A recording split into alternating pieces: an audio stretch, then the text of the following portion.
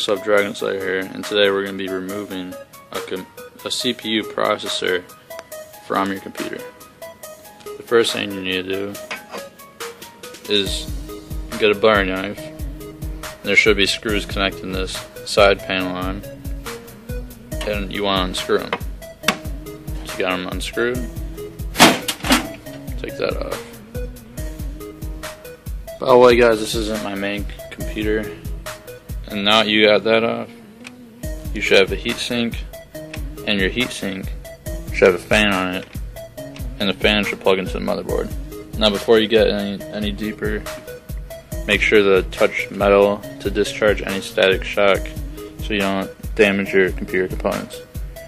Good. So now that once that's done, flip that out. Grab your heatsink.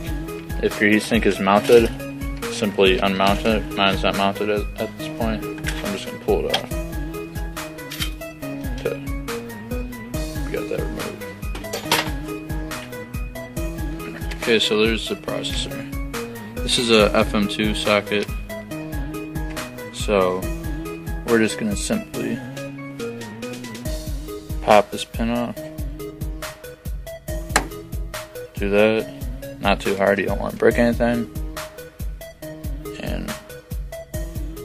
Gently lift it out. Voila, uh, it's, it's out. Now when you set it down, make sure to be extremely careful not to break any of those really fragile things. Okay, now to install to install one, you're gonna need to go back to your processor and find the little arrow. See a little arrow down in the corner on the right side? And on here, find the little arrow. It should be on the plastic. It's going to be really small on one of the corners of the plastic. Now, very gently let it fall into place should just fall into place. Once it's fallen into place, pull that down, snap it in. There you go, now you have a processor installed.